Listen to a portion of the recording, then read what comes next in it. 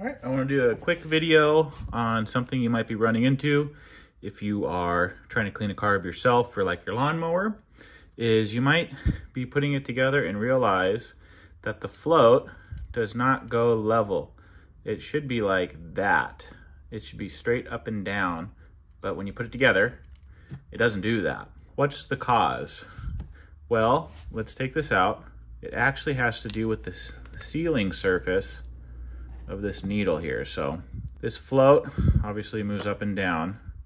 To use this needle to close an opening where the fuel goes in. So the fuel goes in here, it comes out there, and that, that red seat is actually the sealing surface for this needle to go into, and that's what actually stops the fuel. What happens is this sits in ethanol-based fuel, and actually will swell up over time.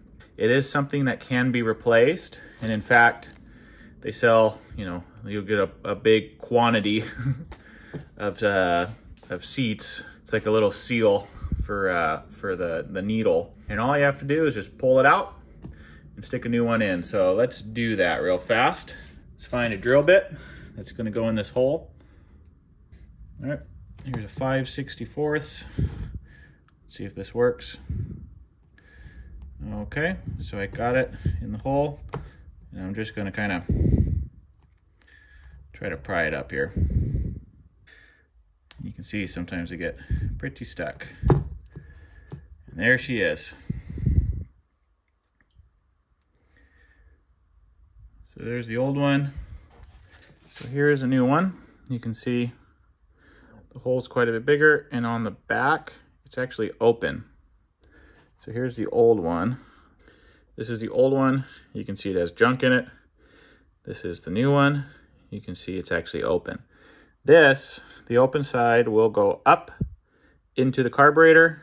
The flat side will be pointing down, and this is the side that the needle goes into.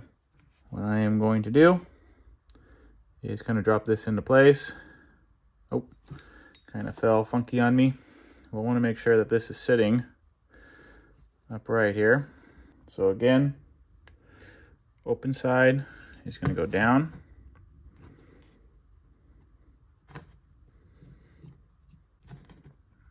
Just flip it on me. There we go. So as you can see, starting to get it going in the right direction here. So we'll kind of get it seated.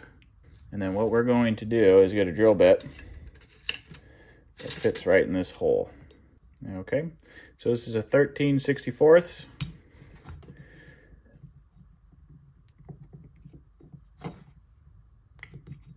Okay, do like a final little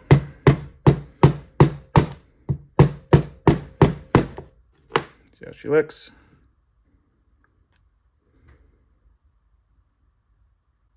pretty good. All right, let's put this needle back into the float here. Okay, let's see where she sits now.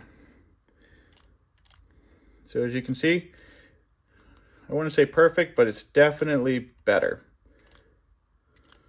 So it's a little bit more natural. If you push it down, you can see it kind of sits in there. Obviously, that needle will kind of expand that hole just a little bit over time to where it'll probably sit just fine. But that is an indicator when this isn't sitting right, that that seat has swollen.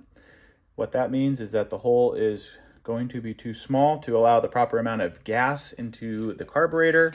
And then obviously with this float going up, it's gonna allow less fuel to fill the bowl, which then means you're gonna be running lean and either destroy the engine or run out of gas or both. But that is the fix. And hopefully that helps people out there with their uh, carburetor cleaning. All right. Thank you guys.